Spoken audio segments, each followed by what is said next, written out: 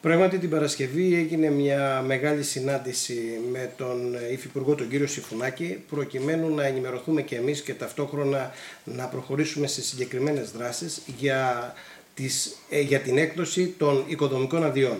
Το σύστημα της έκδοσης ε, των οικοδομικών αδειών αλλά και του ελέγχου έχει πλέον αλλάξει. Ήδη οι πολεοδομίες καταργούνται. Ένα νέο νομικό πλαίσιο θα εφαρμοστεί από την 1η Μαρτίου και προς αυτή την κατεύθυνση προσπαθούμε μαζί με τις υπηρεσίες περιβάλλοντος, με τους γενικούς διευθυντές να διαμορφώσουμε όλα αυτά τα οποία χρειάζονται προκειμένου να λειτουργήσει σωστά το σύστημα. Ήδη βρισκόμαστε σε συνεργασία με τους ε, Δήμους. Αύριο θα έχουμε μια μεγάλη συνάντηση στην οποία θα συμμετέχουν οι διευθυντές ε, των ΠΕΧΟ, οι γενικοί διευθυντές και άλλοι υπηρεσιακοί παράγοντες προκειμένου να προχωρήσουμε στη συγκρότηση δύο επιτροπών οι οποίες είναι αναγκαίες για τον έλεγχο. Η μία είναι η Επιτροπή, ένα Συμβούλιο Πολοδομικών Θεμάτων και Αμφισβητήσεων Ταυτόχρονα ένα δεύτερο συμβούλιο είναι το Συμβούλιο της Αρχιτεκτονικής όπου αυτά θα κάνουν και τον έλεγχο πλέον αλλά και θα εξετάζουν και όλες ε, τις προσφυγές.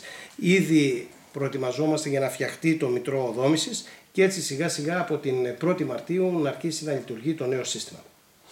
Τι είναι αυτό που αλλάζει ιδιαίτερα έτσι ας πούμε κύριε Αποστολόπη για να καταλάβει ο κόσμος που μας βλέπει ε, ως προς την έκδοση κάποιων αδειών. Πού θα απευθύνονται, πώς θα γίνεται αυτό; Εκείνο το οποίο αλλάζει είναι ότι θα σταματήσει ο πολίτης πλέον να ταλαιπωρείται, θα σταματήσει να ζει αυτή τη γραφειοκρατία η οποία έχει, τον είχε ταλαιπωρήσει, του είχε δημιουργήσει τεράστια προβλήματα και υπήρχε ένα σύστημα το οποίο δεν λειτουργούσε με διαφάνεια.